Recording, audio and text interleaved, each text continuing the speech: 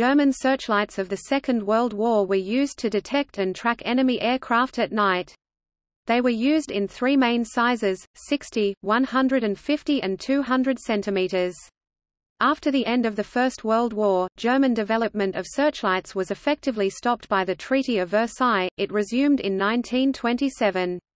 At the outset of the war, searchlights were combined with acoustic direction finders, with the direction finders guiding the searchlights to the right part of the sky, where they swept until they found the target. Later in the war, the searchlights were radar-directed. The searchlights used extremely high-powered carbon arc lamps.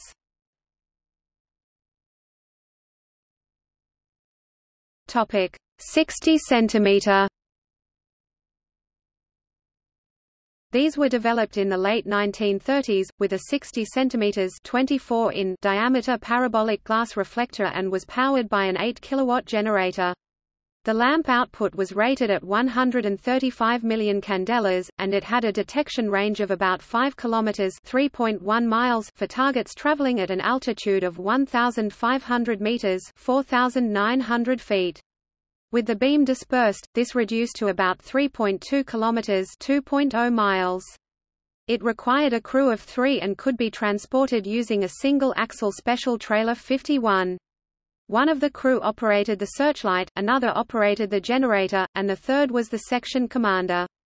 Naval versions of the searchlight included a shutter, to allow them to be used for Morse signaling. The searchlight was controlled in azimuth and altitude by two, hand-operated cranks.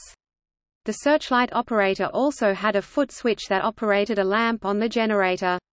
He could use this to send simple Morse signals to the generator operator, requesting, for example, more or less power.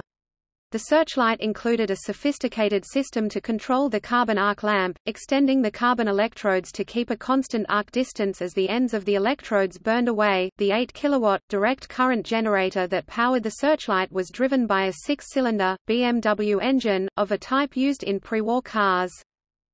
Typical tactics were to sweep the searchlight in an S-shaped pattern along the target's expected course with the beam dispersed. Once the target was detected, it was then tracked using the focused beam. The 60 cm searchlights were not powerful enough to reach the Allied bomber streams later in the war, so were typically employed organically with 20 mm and 37 mm low-level flak guns.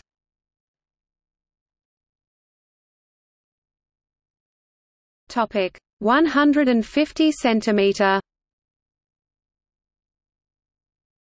Developed in the late 1930s, the flak Scheinwerfer flak searchlight 34 and 37 used 150 cm 59 in diameter parabolic glass reflectors with an output of 990 million candelas.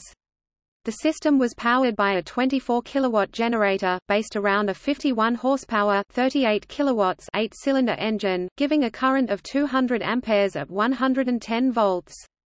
The searchlight was attached to the generator by a 200-meter 660 feet cable.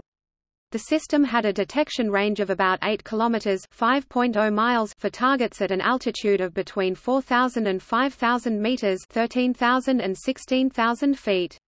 The system could be made mobile using two sets of special trailer 104 units, one for the searchlight and one for the generator.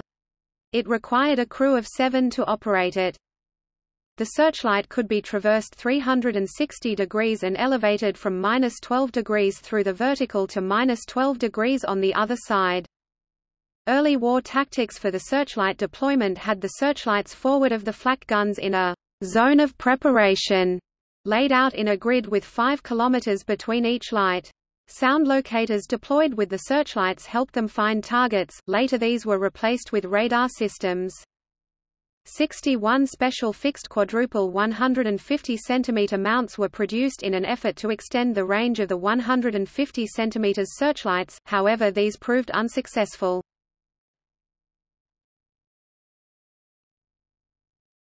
Topic 200 cm In order to reach bombers now flying at increasingly higher altitudes, more powerful searchlights were needed. In 1943, the first 200 cm SCHEINWERFER-43 searchlights, with 2.7 billion Hefner candlepower 2.4 gigacandela were delivered to troops. Powered by a 120 kilowatt generator, these searchlights could detect targets at distances of up to 13 kilometers (8.1 miles). Typically, one 200 cm searchlight was employed with three 150 cm searchlights. The 200 cm searchlight was deployed at the center of a triangle formed by the 150 cm searchlights. The smaller searchlights deployed at a distance of about 2.5 kilometers (1.6 miles) from the larger central master searchlight. The master searchlight would find the target, and the 150 cm lights would cone the target, providing solid triangulation.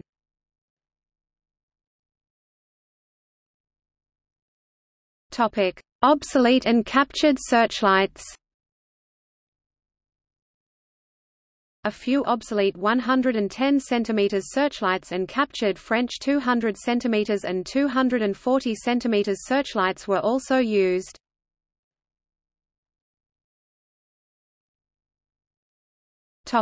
German searchlight inventory In September 1940, excluding units emplaced at naval facilities, Germany had 2,540 searchlights 60 centimeters and 150 centimeters. During the war, this number grew rapidly. By February 1944, the Quartermaster General of the Luftwaffe General Staff reported that stocks of floodlights were as follows.